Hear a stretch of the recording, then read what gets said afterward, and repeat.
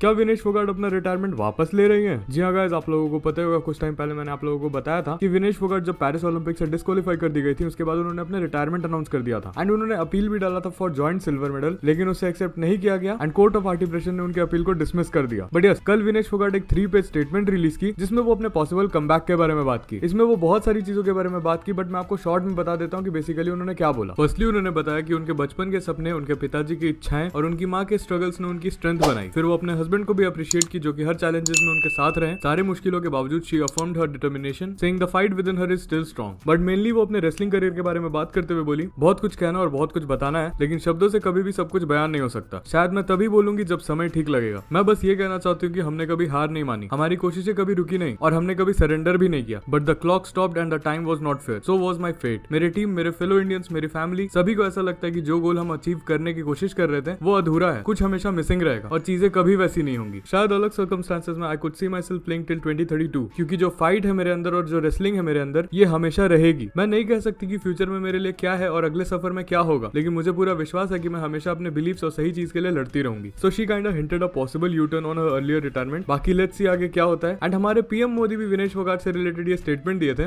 उन्होंने कहा, विनेश फोगाट पहली इंडियन वुमेन है जो फाइनल्स तक पहुँची in wrestling in the Olympics which is matter of great pride for all of us